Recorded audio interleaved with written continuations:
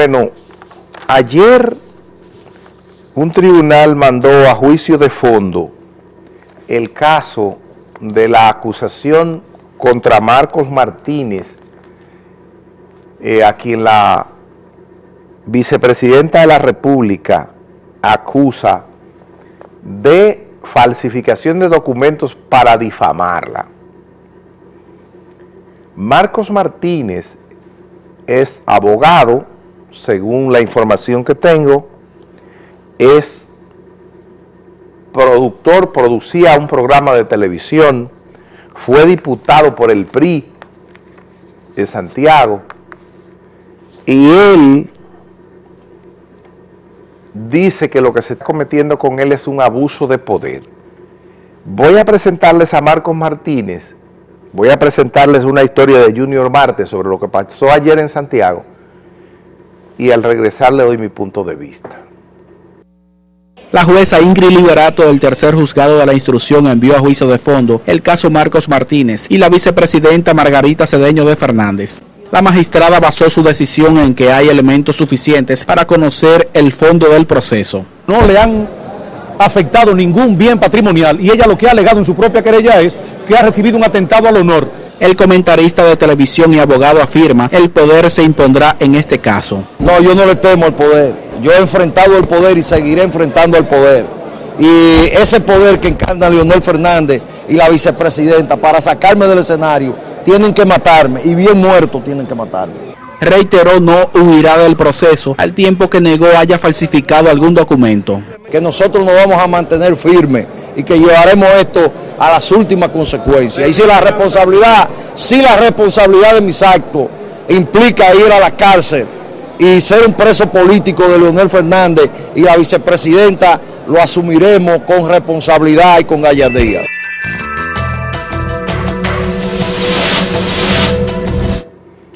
Nosotros hemos dicho, y yo se lo dije a, a Marcos Martínez, yo no conocía a Marcos, pero en un viaje que di a Santiago y estaba en un lugar, él fue donde mí y me dijo, mire, yo soy fulano de tal y usted tiene algún criterio equivocado sobre mí. Yo le dije, ajá, me dio sus argumentos y yo le dije a Marcos Martínez lo que le voy a decir ahora.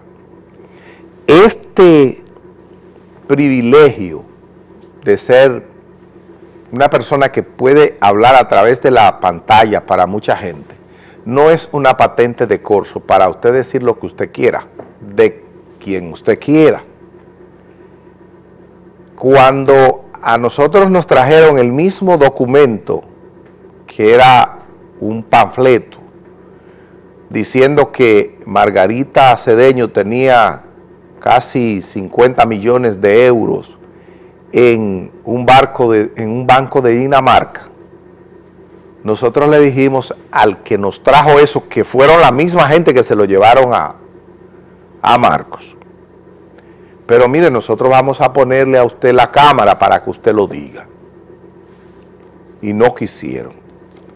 Entonces, si usted no lo quiere decir, ¿por qué usted me quiere poner a mí a decir algo que yo no puedo probar? Porque yo nunca creí en la autenticidad de ese documento.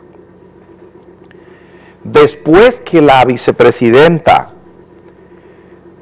consiguió una carta de ese banco de Dinamarca diciendo que ella nunca había tenido cuenta ahí y la presentó,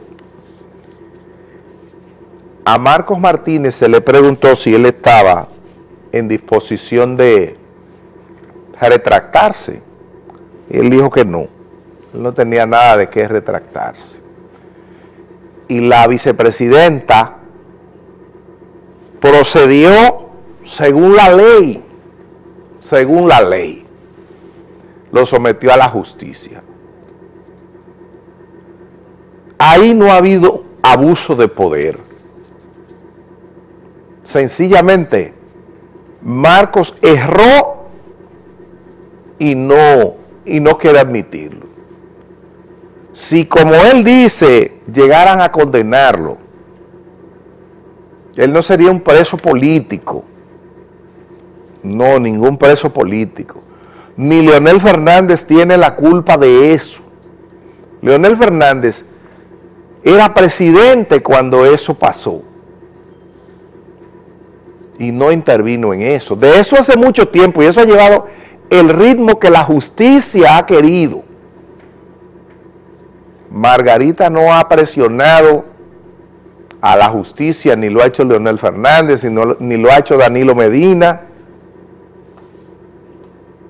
para que Marcos diga que el poder, esa, ese discurso que nosotros tenemos para justificar lo injustificable, no se justifica ahí.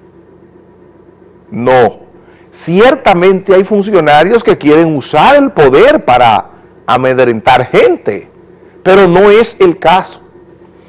Entonces nosotros pensamos que lo mejor que puede hacer Marcos es disculparse, hablar con, con la vicepresidenta y decirle, mire, yo fui sorprendido en mi buena fe,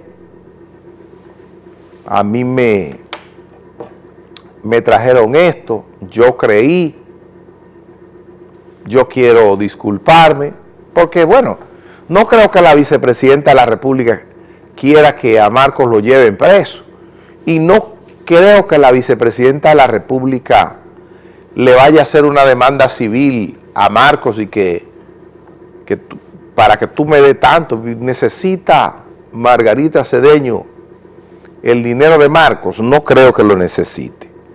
Ahora nosotros debemos tratar de ser lo, lo más apegados a la realidad posible en este oficio.